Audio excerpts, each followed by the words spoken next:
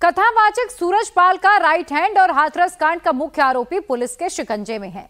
Hathras court ने बाबा के मुख्य सेवादार को 14 दिन की जुडिशियल कस्टडी में भेज दिया है। न्यायिक हिरासत में भेजा है, लेकिन पुलिस देव प्रकाश मधुकर को रिमांड पर लेने की तैयारी कर रही है। सोमवार या फिर मंगलवार को पुलिस रिमांड के लिए दोबारा एप्लीकेशन लगाएगी और ऐसा इसलिए क्योंकि पुलिस की रडार पर अब सूरज पाल का पूरा रहस्यमय संसार है। पुलिस सूरज पाल के सत्संगों के फंडिंग के सोर्स से लेकर उसके पॉलिटिकल कनेक्शन के नेटवर्क को खंगाल रही है। पुलिस देव प्रकाश से फ़र्स्ट राउंड की पूछताछ कर चुकी है और अब सेकेंड राउंड के सवालों की लिस्ट भी तैयार हो चुकी है। देव प्रकाश ने पुलिस को अब तक क्या बताया? आगे क्या सवाल पूछे जाएँगे? डिटेल रिपोर्ट देखिए।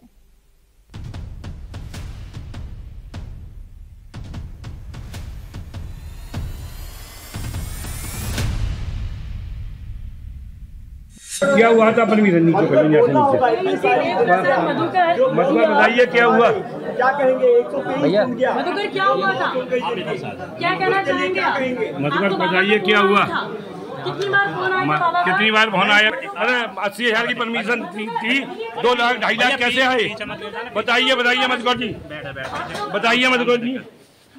ढाई लाख की परमिशन थी कैसे आई अस्सी हज़ार? बताइए बताइए इसमें शामिल है आपके अलावा? बताइए, बताइए। किसका कॉल आया था क्या षड्यंत्र है इसमें? बताइए मधुकर। बताइए बताइए क्या बात हुई? कितने लोग शामिल हैं अरे क्या बात हुई बताइए। बाबा का देव पकड़ा गया। अब देव बोलेगा बाबा के सारे राज खोलेगा। हाथरस में भगदड़ कैसे मची? अस्सी हज़ार की परमिशन तो फिर ढाई लाख की भीड़ कैसे जुटी? हाथरस में भगदड़ किसने मचाई? हाथरस में भक्तों पर डंडा चलाने का ऑर्डर किसने दिया? हादसे के वक्त बाबा कहाँ था? अब सारे सवालों के जवाब मिलने वाले हैं। अब हाथरस कांड का सच भी सामने आएगा। बाबा का तिलिस्म भी टूटेगा और सूरजपाल के रहस्यमयी संसार से पर्दा भी उठेगा। क्योंकि बाबा का चीफ कमांडर अब एसटीएफ के शिकंजे में है। देव का पूरा नाम है देव प्रकाश मधुकर। देव प्रकाश, सूरजपाल का मुख्य सेवादार है। हाथरस के सत्संग का मुख्य आयोजनकर्ता और प्रभारी है। हाथरस में जो आयोजकों की सूची बाबा की सत्संग कमेटी ने लगाई थी, उस लिस्ट में भी पहले नंबर पर इंजीनियर देव प्रकाश मधुकर का ही नाम था। पुलिस की एफआईआर में देव प्रकाश ही मुख्य आरोपी था। इसी देव प्रकाश की पुलिस को कई दिनों से तलाश थी और इसी देव प्रकाश पर एक लाख का इनाम था। अब एसटीएफ हाथरस कांड से लेकर बाबा के सौ करोड़ के साम्राज्य की कड़ियाँ जोड़ रही है। देव प्रकाश मधुकर से पहले राउंड की पूछताछ हो चुकी है। गिरफ्तारी के बाद पुलिस ने सीक्रेट लोकेशन पर पूछताछ की। इस पूछताछ में यूपी पुलिस के एडीजी के रैंक अधिकारी भी शामिल थे। पुलिस का फोकस पहले सत्संग की फंडिंग पर है, लेकिन मधुकर पुलिस के सवालों का सीधा जवाब नहीं दे रहा है। वो खुद को बार बार बाबा का सेवादार बता रहा है। जानबूझकर बातों को घुमा रहा है। हमारे साथ निपुण अग्रवाल हैं, जो कि एसपी हैं, हाथरस के निपुण जी। मधुकर को गिरफ़्तार किया गया या फिर सरेंडर, जो कि उनके वकील का दावा था कि सरेंडर हुआ। पुलिस क्या कहती नहीं मधुकर को कल देर शाम जनपद की एसओजी ने हाथरस की एसओजी ने उनको दिल्ली नजफगढ़ से प्रॉपर पुलिस एक्शन के बाद गिरफ़्तार करा कहाँ कहाँ ये फरारी के दौरान ये इस दौरान छुपा रहा? देखिए सीडीआर का अवलोकन करा जा रहा है और उसके बाद इनको अभी तो गिरफ़्तार कर लिया गया न्यायिक अभिरक्षा में भेजा जा रहा है और उसके बाद इनको जल्दी पीसीआर पे लेके पूछताछ अरेस्टिंग के बाद बाबा का भी बयान सामने आया क्या अगर ज़रूरत पड़ती है तो हाथरस पुलिस जो है वो बाबा को समन करेगी जाँच में शामिल होने बिल्कुल पीसीआर पे हम इनको लेंगे और इनके जितने भी अकाउंट्स है खंगाले जाएँगे जितने भी इनके कॉल डेटा रिकॉर्ड है अगर कोई ऐसा लिंक निकलता है कोई है तो आगे इसमें समन उसके बाद समन किया जाएगा बाबा को भी। अभी पहले हम पहले जब तक इनके साक्ष्यों का अवलोकन नहीं होगा जिसके खिलाफ भी रहा ज़रूरत पड़ने जिसके खिलाफ भी साक्ष्य मिलेंगे उसमें फिर सर एक और बात पॉलिटिकल पार्टी की भी बात सामने आ रही है। देखिए पूछताछ में बताया है कि कहीं ना कहीं आ, कहीं ना कहीं किसी राजनीतिक दल द्वारा इनको पोषित किया जा रहा है और बाकी बैंक अकाउंट की डिटेल सर एक आखिरी सवाल फंडिंग का बता दीजिए। फंडिंग का रेजर था ये अभी इसमें हम लोग इसमें इसमें फंडिंग बता रहे हैं कि लोगों को द्वारा इनमें डोनेशन होता था इनके द्वारा जो डोनेशन की पर्चियाँ हैं वो मांगी जा रही हैं कि अपने साक्ष्य के संकलन में ये बताएँगे कि ये पैसा जो रेज करा है फंड रेजर के रूप में इनकी अहम भूमिका थी। पैसा कहाँ से आया क्या मनी ट्रेल थी कौन डोनर्स थे उसकी लिस्ट तैयार करी जा रही है। और एक ये बृहद विवेचना है इसमें लंबी चौड़ी टीम लगेगी हमारी रेवेन्यू के ऑफिशियल्स भी लग रहे हैं और उसके बाद इसमें जो भी कार्रवाई है वो करी जाएगी। लेकिन मधुकर की ये होशियारी किसी काम नहीं आएगी। पूछताछ से यह भी पता चला है कि विगत कुछ समय पूर्व कुछ राजनीतिक दलों द्वारा इनको संपर्क किया गया था।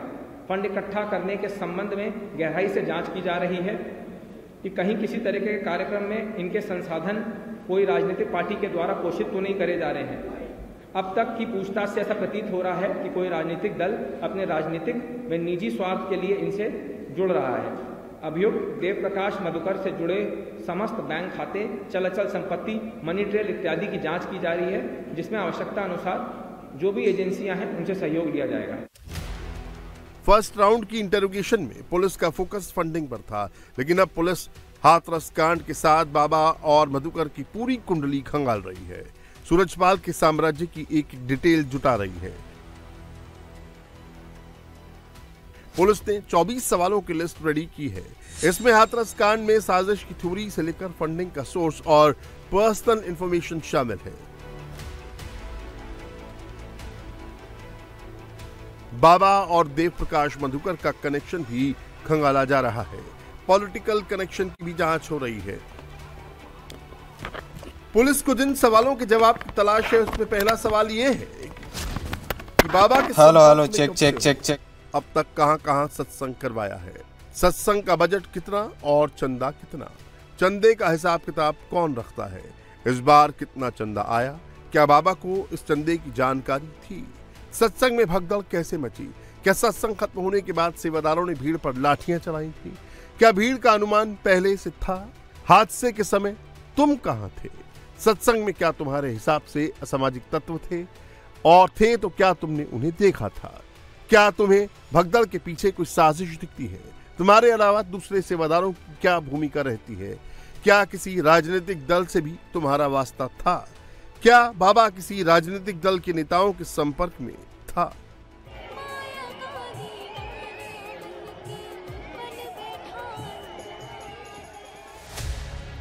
हाथरस में 2 जुलाई को दोपहर दो बजे के करीब हादसा हुआ। मधुकर हादसे के बाद परिवार के साथ मौके से फरार हो गया। 2 जुलाई को ही दो बार देव प्रकाश की बाबा से मोबाइल पर बात हुई। पुलिस से छिपते छिपाते वो हाथरस से दिल्ली तक पहुँच गया। सेफ़ लोकेशन पर अंडरग्राउंड हो गया। 3 जुलाई को एसटीएफ ने एफआईआर दर्ज की। घटना में देव प्रकाश मधुकर को मुख्य आरोपी बनाया गया। एसटीएफ ने मधुकर की तलाश तेज की। 5 जुलाई को दिल्ली के नजफगढ़ से गिरफ्तारी हुई। देव प्रकाश मधुकर तीन दिन तक पुलिस के रडार में आने से बचता रहा। वो तीन दिन तक अंडरग्राउंड था। पुलिस से छिपता फिर रहा था। पुलिस अब मधुकर से फरारी की भी फुल डिटेल निकाल रही है। पुलिस के सवालों की लिस्ट में फरारी और बाबा वाले सवाल भी हैं।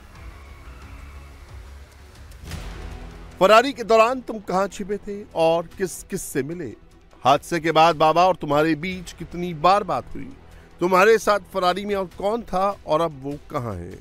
मधुकर है, उसकी दो भूमिका सामने निकल कर आई है। एक तो ये कि ये एक मुख्य आयोजक था और दूसरा फंड रेजर था और अब तक कितना फंड रेज किया इसने कहाँ कहाँ से लिया, पूरी मनी ट्रेल जो है, वो निकालने के लिए अब पुलिस काम कर रही है। साथ ही साथ जो रेवेन्यू डिपार्टमेंट के अधिकारी हैं, उनकी भी इस पूरे मामले में मदद ली जाएगी और अगर ज़रूरत पड़ती है तो बाबा को भी जो है हाथरस पुलिस समन कर सकती है जाँच में शामिल होने के लिए। मतलब ये कि अब यूपी पुलिस हाथरस के किसी भी गुनाहगार को छोड़ने के मूड में नहीं है। वो हाथरस के हादसे के हर गुनाहगार को कानून के दायरे में लाने की तैयारी कर रही है। देव प्रकाश मधुकर की गिरफ्तारी यूपी पुलिस के लिए एक बड़ी कामयाबी है। इससे हाथरस कांड की पिक्चर क्लियर हो सकती है। बहुत सारे सवालों के जवाब मिल सकते हैं, लेकिन जितना रहस्यमयी सूरजपाल जाटव का संसार है उतना ही रहस्यमयी किरदार उसके राइट हैंड देव प्रकाश मधुकर का है। मधुकर की इनकम और उसके लिविंग स्टेटस को लेकर सवाल खड़े हो रहे हैं। देव प्रकाश मधुकर हाथरस का रहने वाला है। सिकंदरा मऊ की न्यू कॉलोनी के दिमतपुरा में उसका घर है। मधुकर एटा के शीतलपुर ब्लॉक में तकनीकी सहायक के पद पर था। 2010 से मधुकर संविदा पर 20 पंचायतों की मनरेगा का कामकाज देखता था। मुख्य आरोपी बनाए जाने के बाद उसे पद से हटा दिया गया है। उसकी सैलरी मात्र ग्यारह रुपए थी। देव प्रकाश मधुकर की सैलरी भले ही कम थी, लेकिन वो पूरी शान शौकत के साथ जीवन जीता था। उसने एटा के पैतृक गाँव से लेकर हाथरस के सिकंदराव तक इसी सैलरी में पक्के मकान बनवा रखे हैं।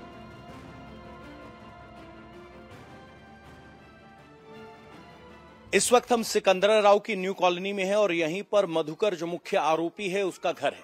घर पर ताला लगा हुआ है। ऊपर 2014 लिखा गया है। 2014 में मकान बना था। उसके बाद ही गाँव से शहर शिफ्ट हुए। मधुकर यहाँ मनरेगा विभाग में संविदा कॉन्ट्रेक्चुअल एम्प्लॉय हैं और अपने परिचय में, ब्रैकेट में इंजीनियर लगाते हैं। यहाँ अगर आप देखेंगे तो ऊपर बाबा, भोले बाबा की तस्वीर लगी है, नारायण हरि की। और ये मकान है, ताला लटका है, पूरा परिवार कोई नहीं है। मधुकर को फ़िलहाल गिरफ़्तार कर लिया गया है। ये इकलौता घर ऐसा नहीं है। यहाँ जाएँगे, इसमें ताला लगा हुआ है, अगले घर में ताला लगा हुआ है। ये वो सब बाबा के समर्थक हैं, जिन्हें डर लग रहा है कि कहीं जाँच की आँच उन तक ना जाए। मधुकर के आसपास के कई घर बाबा के समर्थकों के हैं, जिनके घरों पर अभी भी ताला लटका हुआ है। मधुकर ने इन्हीं लोगों के साथ मिलकर सत्संग की तैयारी की थी। हमने मधुकर के पड़ोसियों से भी हादसे को लेकर बात की। मधुकर के बारे में आप क्या जानते हैं? किस तरह का व्यवहार उनका रहा? बहुत अच्छा है उनका। कहाँ काम करते हैं? काम वो सर्विस है उनकी। सर्विस है। हम्म। तो यहाँ आयोजन से पहले उन्होंने लोगों को बताया था किस तरह से आयोजन की तैयारी हुई। क्या पता चला तैयारी उन्होंने की है उन्हें पता होगी। हमारी तैयारी जो है हम तो पर काम करते हैं। और उनका व्यवहार अच्छा है। व्यवहार ठीक है। हाँ। व्यवहार अच्छा है।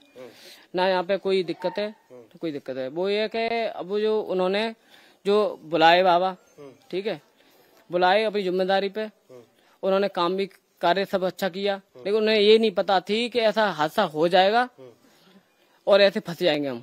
और जैसे कि मान लो कि अभी कोई कार्य हम कर रहे हैं ठीक है? हम कर रहे हैं तो हम ज़िम्मेदारी बुला रहे हैं। पर हमारे पीछे कौन है इसका कोई हादसा कोई मालूम नहीं है। सही है? अब बा में कोई हादसा हो गया तो हादसा के पीछे अब वो बुराई पे आ गए। तो कह रहे हैं कि हादसा हुआ इसलिए बुराई पे आ गए और यहाँ एक के बाद एक एक दो यहाँ तीन और वहाँ चार। चार घर यहाँ फ़िलहाल बंद हैं ये वो घर हैं जो बाबा समर्थकों के हैं और इस आशंका से बंद हैं कि कहीं जाँच के दायरे में उनका नाम ना आ जाए। हाथरस हादसे को लेकर यूपी सरकार सख्त है और न्यायिक आयोग ने अपनी जाँच तेज कर दी है। न्यायिक आयोग की टीम ने हाथरस में ग्राउंड ज़ीरो पर पहुंचकर हालात का जायजा लिया तो दूसरी तरफ़ पुलिस लाइन में सरकारी अधिकारियों के बयान भी दर्ज किए। इस वक्त हम हाथरस पुलिस लाइन के अंदर मौजूद हैं और हाथरस में जो दो तारीख को घटना हुई, जिसमें 121 लोगों की मौत हुई, उस मामले पर जाँच के लिए प्रदेश सरकार ने जुडिशियल कमीशन का गठन किया था और उसे जो है जाँच करने के लिए आदेश दिया था, जिसके बाद अब वो जुडिशियल कमीशन जो है वो पुलिस लाइन के अंदर पहुँच चुका है। आप देखें कि यहाँ पर जो आपको पुलिस का बंदोबस्त भी आपको दिखाई दे रहा होगा। दरअसल तमाम जो ज़िले के आला अधिकारी हैं, जिसमें डीएम, एसपी और एडीएम, एसडीएम और इसके साथ एडिशनल एसपी और तमाम जो इस भी, इस पूरी जाँच से जुड़े अधिकारी हैं, वो इस वक्त पुलिस लाइन के अंदर, इस पीली बिल्डिंग के अंदर मौजूद हैं और यहाँ पर जो है जुडिशियल कमीशन की जो पूरी सदस्य हैं, वो पहुँचे हुए हैं और एक एक अधिकारी के जो है, स्टेटमेंट रिकॉर्ड किए जा रहे हैं, उनसे पूरी पूछताछ की जा रही है। जाँच कमीशन ने जो है, अब जाँच का जिम्मा संभाल लिया है। यूपी सरकार ने इलाहाबाद हाईकोर्ट के सेवानिवृत्त न्यायमूर्ति ब्रजेश कुमार श्रीवास्तव की अध्यक्षता में तीन सदस्य टीम बनाई है, जिसमें सेवानिवृत्त आईएएस हेमंत राव और सेवानिवृत्त डीजी भवेश कुमार सिंह को शामिल किया गया है। ये कमेटी हाथरस कांड की जाँच कर हादसे की ज़िम्मेदारी तय करेगी। इस बात को तय करेगी कि गलती प्रशासन की थी, आयोजन की थी या फिर दोनों की। न्यायिक आयोग की जाँच जिन पॉइंट पर हो रही है, उसे भी जान लीजिए। हाथरस में जो हुआ, वो दुर्घटना है या फिर साजिश? हाथरस में भगदड़ के पीछे की असली वजह क्या है? कार्यक्रम के आयोजकों ने जिला प्रशासन को आयोजन की क्या जानकारी दी? प्रशासन ने आयोजन को लेकर क्या गाइडलाइन जारी की थी? जिला प्रशासन और पुलिस ने भीड़ को नियंत्रित करने के लिए क्या कदम उठाए? भविष्य में इस प्रकार की घटनाओं को कैसे रोका जा सकता है? मतलब ये कि हाथरस कांड का काउंटडाउन शुरू हो चुका है। हाथरस की गुत्ती अब जल्द ही सुलझ जाएगी और गुनहगार को उसके अंजाम तक पहुँचाया जाएगा।